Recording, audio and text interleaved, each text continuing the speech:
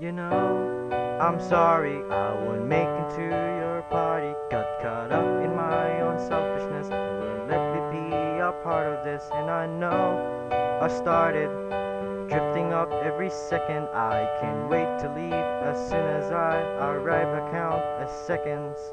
Down and down we go. We're torch